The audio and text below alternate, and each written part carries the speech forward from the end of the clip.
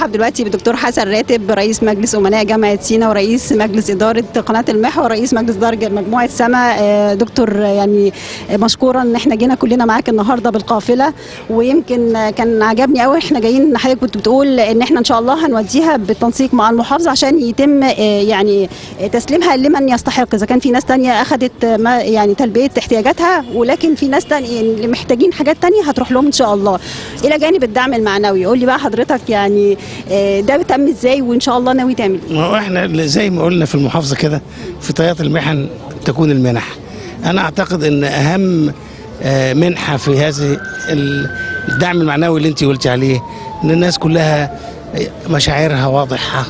وبعدين مش بس مشاعر ال- المشاعر دي بيصدقها عمل ومبادرات حقيقية وكلها من المجتمع المدني. يعني أنا مش جاي لوحدي أنا جاي معايا الاتحاد العام للتعاونيات. على راسه الأستاذ الدكتور أحمد عبد الظاهر وعلى جاي معايا الدكتور طلعت عبلاوي على رأس الاتحاد العام للجمعيات الأهلية. هنا يعني استنهاض المجتمع كله في أزمة زي دي وزي ما أنا قلت للناس إن عشرات إذا كانت في عشرات الأسر من الأقباط نزحوا من العريش ففي مئات من الأسر المسلمة. صحيح يعني إيه؟ يعني ما حصلش معاهم اللي حصل معانا ده مع الأقباط ده لكن لأننا إحنا بنشعر إن الأمة نسيج واحد ونتيجة للأقلية فلازم الأكثرية تساند وت يعني وتدعم ال- ال- الأقلية. أنا بعتقد إن هذه صورة أرادوا بنا شر وأراد الله بنا خير. أرادوا قبل زيارة السيد الرئيس لأمريكا إنه يحطوا له نوع من الإحراج.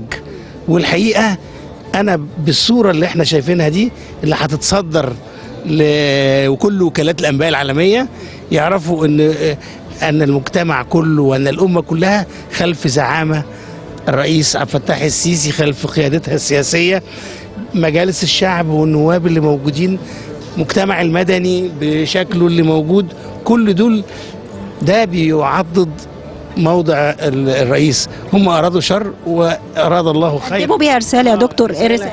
ده الرسالة دي للعالم كله إن هذا نسيج واحد محدش يقدر يلعب عليه.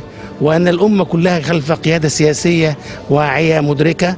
نحن نعلم أنها محنة لكن ندرك أيضا أن في طيات المحنة دي ستكون هناك منحة كبيرة وهي منحة أن تجتمع الأمة وتلتف حول زعامة وحول قيادة حتى تنتهي هذه الأزمة. وهتنتهي على فكرة لأن يعني لا يمكن يعني في الآخر آه، أنا أثق جدا في أهل سينا.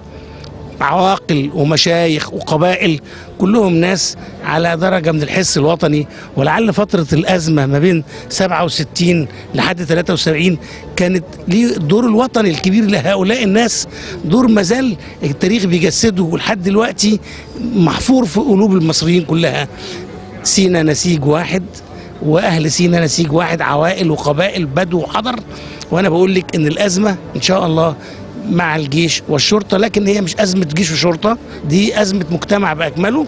النهارده بالرساله الحقيقية اللي ورا الموضوع إن المجتمع كله بيستنهض النهارده حتى يواجه هذه الأزمة. فهم أرادوا شر بأنهم يعملوا أزمة وأراد الله بنا خير أن يستنهض كل المجتمع لمواجهة هذه الأزمة تحت قيادة وتحت زعامة سياسية. شاء الله تكون باينة قوي إن هي محاولة فاشلة وإن إحنا النهارده بنرد عليها برسالة بهذا الجمع يعني إن دي رسالتنا للعالم إن إحنا نسيج واحد ولن ولن يمزق ولن تركع مصر. الحمد لله.